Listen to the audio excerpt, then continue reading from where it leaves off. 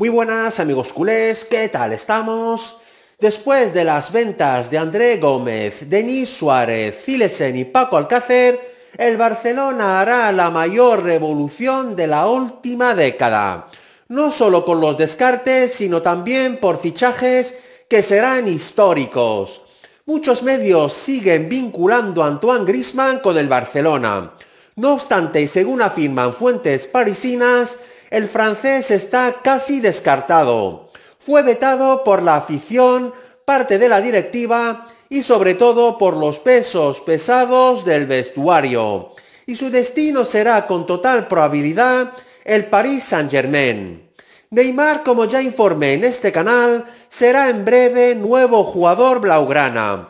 Pero el Barça no se va a quedar ahí, sino está dispuesto a dar el golpe del siglo con el fichaje de la otra estrella del Paris Saint-Germain.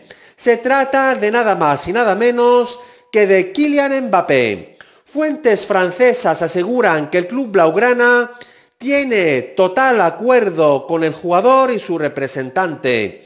Y tras su negativa a jugar en el Real Madrid, se espera su llegada al Barcelona en el verano del 2020.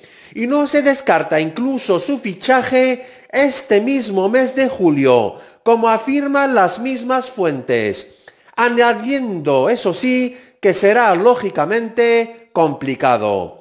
Esto ha sido mi grandísima noticia de hoy, amigos culés.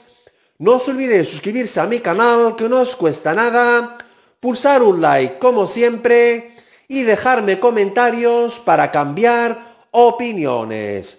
Muchas gracias y nos vemos muy pronto en mi próximo vídeo.